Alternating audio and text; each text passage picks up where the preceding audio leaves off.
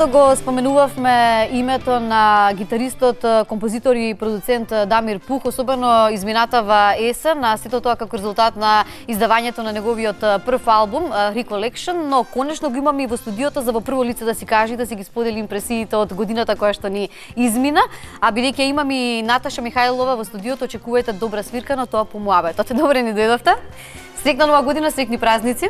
Среќна нова и на вас и на сите гледачи и благодариме на поканата. Recollection е она што го промовиравте заедно со Три Гонга. Дамир беше одлична клубска свирка во станица 26. Многу често зборувавме ние навистина со организаторите и го споменувавме твоето име, но конечно можеш и ти да ги споделиш импресиите за твојот прв соло албум на кој што ета работиш подолго време. Така, Recollection е а, резултат на, на оно што го работев во изминатите две години. Се работи за мојот прв соло албум, кој го работев би рекол со доста внимание и со до, со голема доза на искреност, затоа што сакав крајниот продукт да биде она што јас како музичар сум го склопил во целото тоа моје истражување, во целото моје музичко патување, така што албумот го, го изработив во голема мера сам ми беше битно тој како продукт да биде изработен на тој начин затоа што само така може според мене да ја да долувам таа како...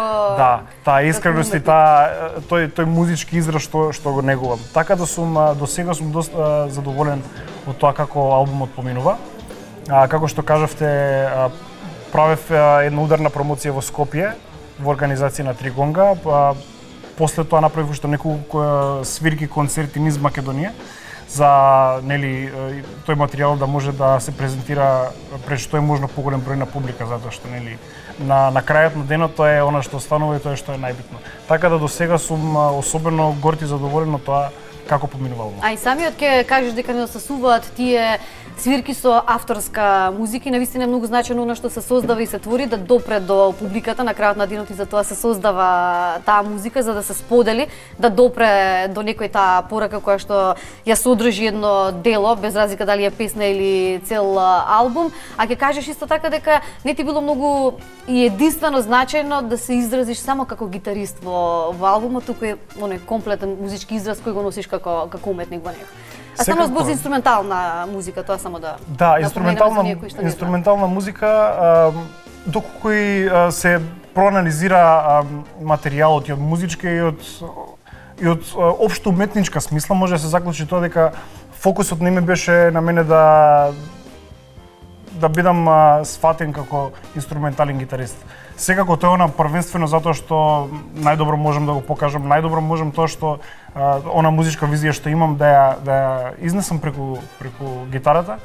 Но од друга страна, според мене многу е побитно да се закружи целиот продукт и со некои други елементи, да има добра композиција, да има добар аранжман, добра продукција, затоа што музиката во целост е многу повеќе од свирење само на еден инструмент. Така, Наташа, ти предпоставам дека беше сведок на тој процес на создавање на, на албумот. Да. Како ти се допаѓа, вака ти како го оценуваш оно што го создаде Дамир? Па ми беше пред се и чест да сум и дел од останатиот дел на луѓето кои што има некаква соработка во правењето на овој албум. Дел од неколку песни содржат скет пеење и ми беше чест што ете јас бев вокал. Нормално ти си вокалот. Да. А, од друга страна, многу е интересна работа што за разлика од вокалната музика, која што веќе содржи одреден текст кој што дава насока на толкување кај публиката, инструменталната музика има широк спектар на толкување. Секој може да си ја разбере и да си ја доживее онака како што самиот ја замислува или ја перцепира. И тоа е една многу добра димензија која што сметам дека фали во денешната музика, особено во музиката на македонското тло, дека за разлика од огромната продукција на вокални песни, на комерцијална музика која што денес може да се слушне на радијата, фали инструментална музика која што ете може за на некој начин ќе ја интригира публиката, особено помладата генерација која што ете може би некој ќе се заинтересира да се бави со свирење гитара. Да, ние навистина ти тоа го правиш и на YouTube и ги имаш постојано твоите видеа кои веројатно инспирираат многу млади луѓе кои сакаат гитарата да. биде нивен инструмент или да ги прегледаат и да се заразат со со тој инструмент, но навистина имаме многу креативни луѓе. Она што недостасува, претпоставувам многу повеќе е пласманот, но во денешно време Мислам дека и тоа добро вам ви оди и тебе Дамир со оглед на тоа што патуваш надвор, си бил дел од повеќе фестивали, случувања, па и награден, ти ќе ги споменеш за да не ги споменувам јас. Кој од нив ти е најдраг и колку еве е лесно или тешко да се излезе од Македонија и да се биде рамо до рамо до некои други светски гитаристи? А, па во мојот случај а, моите искуства поврзани со свирење надвор биле дел од а, некои гитарски надпревари а, каде што сум освојувал одредени награди како што е на пример Guitar Idol каде што бев во финалето во Лондон или Guitar Master 2010 каде што бев во Загреб, но морам да споменам дека кај нас е многу тешко да се одржи континуитет во таквите настапи надвор. Значи збориме за за инцидентни настани каде што треба да се погоди текот на настаните за да се да се биде дел од нив. За да се биде дел на, од, од такви настани. А, сметам кај нас голем проблем е тоа што многу а, повеќе знаеме да увезуваме музика отколку да извезуваме. Сметам дека кај нас и промотерите, и собствениците на локали, и продукциите генерално, а, како од, од самиот почеток да бараат а, готов финален производ, не сака да се да се уложува, да се да се вложува во во развој. Тоа не се вистински продуцентски куќи тогаш на некој начин. Да, да, Ако да, не да, знаат да. да го менаџираат и да препознаат некој талент или да го земат во своите Секако се разреди. гледа на краткорочните резултати наместо на долгорочна визија што секој треба да ги има и, и само на тој начин може да се изгради квалитетна музичка сцена кај нас. На, на, на поинаков начин не само импровизација и, и сноѓење. Ви сте дел од едно рок дуо, немаме такви многу, каде што може да слушнеме таква една машко-женска соработка. Проект кој што создава и своја авторска музика. Како се најдовте на таа патека? Наташа, ти си соло пејач. Така. Е па заедно бевме член во кавер рок бенд и дојдовме до заклучок дека е потребно да се направи нешто плюс од обична преработка на музика која што се слуша секојдневно. Имавме иницијатива со заедно со бендот со кој што бевме да да создадеме наша музика, но на крај сепак се одлучивме за студиски проект кој што функционира мене и со Дамир. До сега имаме издадено 3-4 авторски музики, има имаме и готови песни кои што не се Чекаат снимени, ден да бидат снимени. Па се надевам дека 2018 ќе се реализира еден албум, така со вокална музика на македонски јазик, која што ќе може да се презентира и да ја, да ја слушнат Добро, гледачи. тоа е нешто и поразлично од оно што Дамир го работи, но тој навистина е дел од многу жанрови музички, исто и ти со соло пеењето, но зошто да не? Секој има нели одредени идеи по однос на музиката кои што би ги искажал во една авторска музика, значи може да очекуваме албума.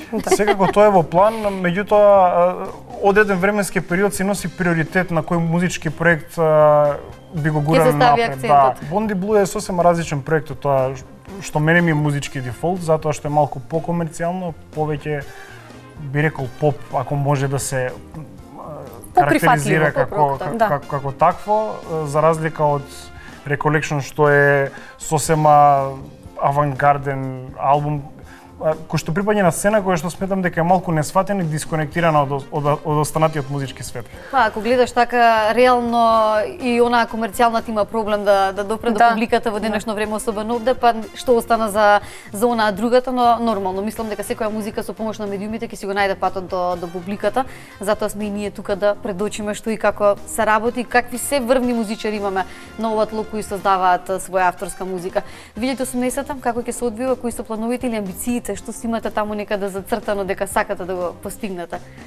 А, Веројатно многу повеќе настапи за живи настапи да. за да се промовира овој материјал. Веќе се веќе се планирани а, повеќе настапи за дополнителна промоција на, на албумот.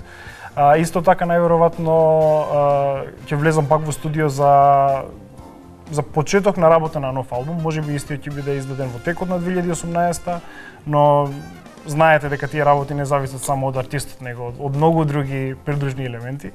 А, можно е а, уште авторска музика со со Бонди Блу и Да. секако Наташа има собствени музички проекти кои што може да Како што напоменавте и предходно, пошто сум соло пејач, имам определено собствена насока како е, што ја реализирам преку мултимедијални солистички концерти и се надевам дека за годинава ќе ми биде одобрен проект кој што ќе го Што реализирам. би вклучувал тој мултимедијален?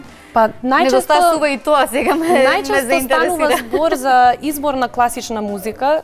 Е, Љубов ми е Рахманинов и општо музика на 19-20 век. На која што и давам една мултимедијална димензија, имам соработка со фотографи, со аниматори, значи за време на мој перформанс има видеобим дали е во позадина или покрај мене кој што додека пеам, со изложување на фотографии или анимации се дава уште една димензија на, на самиот перформанс, да. Сакам е, моje стремење е да излезам вон поставените рамки на класичната музика, затоа и сум вклучена во ваков тип проекти, на проекти, так. да, па искрено... Добиш значи... важен или она, ако е соло пење, тогаш мораш да. Тоа само да го негуваш, но не гледам дека ти пречи. Како, како артист, добро е, е работењето на себе, рушењето на стереотипи и стремежот кон подобрување, нели зрееме од ден на ден и убаво е кога тоа можеш да го имплементираш во она што го работиш. Значи, сакам со тоа што имам вака прилика да учествувам во ваков тип на проекти, истото тоа утре да се одрази и во моето онака примарно занимање соло пеењето, да дадам малку поинаков печат на класичната музика која што ја пеам. Одлично ве очекувам со кои било први новитети кои ќе ни ги понудите во, во новата година. Така што овој разговор, како што им ветивме на гледачите, ќе го заокружиме со, со музика. Ке имаме прилика да уживаме во вашиот заеднички проект, а ова, Дамир, каде може да го набават сите кои што сакаат да слушнат за каков копија... гитарист станува збор всушност и за каков уметник и музичар? Се надевам дека ќе ви се допадне албумот. Може да, да го набавите физички во Југотон и пола Југотон а, додека исто така онлайн е достапен а, за даунлоуд преку CD Baby, преку Amazon и сите останати веб сервиси поголеми, познаени, понезнени на каде што а, може да се зимнува музика. Така, одлично. Ви благодарам за гостувањето и одиме со музика. Благодарам.